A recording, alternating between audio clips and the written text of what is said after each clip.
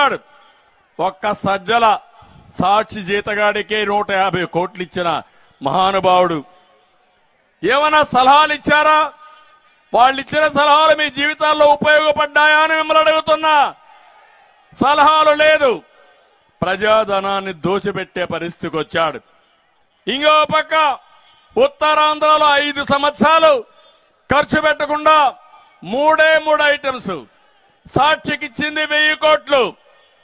సలహాదారులకు ఇచ్చింది ఏడు వందల కోట్లు. ఈయన ప్యాలెస్ కట్టుకున్నది ఐదు వందల కోట్లు. అన్ని కలిపితే రెండు వేల రెండు వందల కోట్ల రూపాయలు. అయితే ఆ రెండు వేల రెండు వందల కోట్ల రూపాయలు కూడా ఉత్తరాంధ్రలో ఇరిగేషన్ ఖర్చు పెట్టలేదు ఐదు సంవత్సరాలు ఈ ముఖ్యమంత్రి. ఈయన మా ఈ ఉత్తరాంధ్ర గురించి మాట్లాడుతున్నాడు. ఈ విశాఖపట్నం పెట్టుబడులకైతే ఒక స్వర్గధామం. నేడు వైసీ పాలనలో కబ్జాలకు కేంద్రంగా మారిపోయింది. ఒక్క విశాఖపట్నంలో నలభై వేల కోట్ల రూపాయలు దోచేశారు.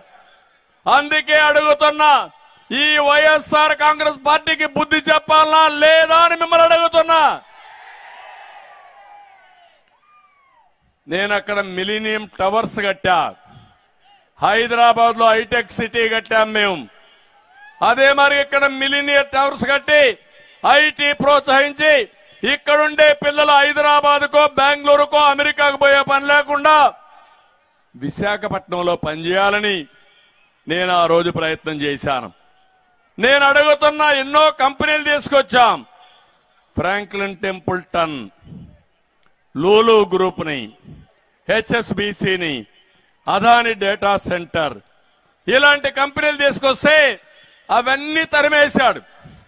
ఎంత కక్కుర్తిగాడంటే లూలు గ్రూప్ గాని అక్కడ షాపింగ్ మాల్ కట్టుంటే ఒక టూరిజం కేంద్రంగా విశాఖపట్నం అభివృద్ధి అయ్యేది. దాన్ని తరిమేసి రియల్ ఎస్టేట్కు అమ్ముకుని డబ్బులు దోచుకున్న వ్యక్తి ఈ జగన్మోహన్ రెడ్డి అని చెప్పి నేను మీకు తెలియజేస్తున్నా. వాళ్ళు యూపీలో కట్టారు హైదరాబాద్లో కట్టారు దేశం అంతా కట్టే పరిస్థితికి వచ్చారు. ఇంకో పక్క కార్తీక వనం ఎన్సీసీ భూములు ప్రేమ సమాజం అన్ని మింగేసే పరిస్థితికి వచ్చాడు.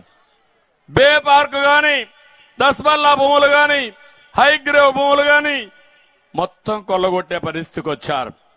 ఈరోజు ఇంకో పక్క చూస్తే విశాఖ మెట్రో ఎప్పుడో ప్రారంభించాం. అదే తెలుగుదేశం పార్టీ అధికారం ఉంటే విశాఖపట్నం మెట్రో